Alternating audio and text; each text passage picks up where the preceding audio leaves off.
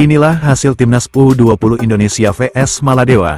Garuda Nusantara menang 4-0 Timnas U20 Indonesia berhasil menang telak atas Maladewa dengan skor 4-0 pada laga perdana kualifikasi Piala Asia U20 2025. Laga Timnas Indonesia vs Maladewa dalam grup F kualifikasi Piala Asia U20 berlangsung di Stadion Madia, Gelora Bung Karno, Jakarta, Rabu, tanggal 25 September tahun 2024 kick-off pukul 19.30 waktu Indonesia Barat.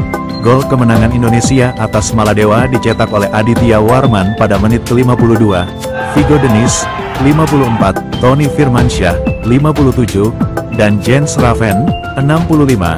Hasil ini membawa Garuda Nusantara meraih poin penuh alias 3 angka untuk persaingan di grup F kualifikasi Piala Asia U20 2025. Untuk selanjutnya, Indonesia akan menghadapi Timor Leste pada Jumat, tanggal 27 September tahun 2024, dan Yaman pada Minggu, tanggal 29 September tahun 2024, dalam lanjutan laga kualifikasi Piala Asia U20 2025. Skuad asuhan Indra Syafri tampil dominan pada laga ini dengan menguasai jalannya permainan, Sampai peluit babak kedua dibunyikan Indonesia unggul 4-0 atas Maladewa, Bravo Garuda Muda Indonesia.